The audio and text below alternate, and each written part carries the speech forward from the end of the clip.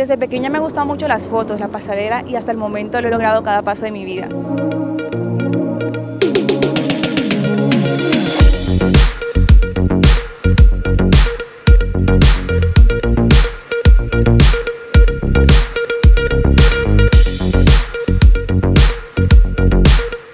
Actualmente estudio Comunicación Social en la Universidad Nacional y estoy en el segundo semestre.